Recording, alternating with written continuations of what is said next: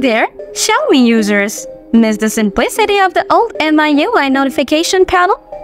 Well, today's your lucky day because we are diving into how you can bring back that classic style on your Xiaomi phone. Let's get started. Firstly, open up your Settings app on your Xiaomi phone. Then, scroll down until you find Notifications and Control Center and tap on it. After that, tap on Notification Shade. Now, simply tap on panel labeled MIUI. And just like that, you're back to the good old MIUI notification panel with larger icons and more visible notification text. That's all it takes to restore the old MIUI notification panel on any Xiaomi device. If you found this video helpful, don't forget to smash that like button. Have any questions?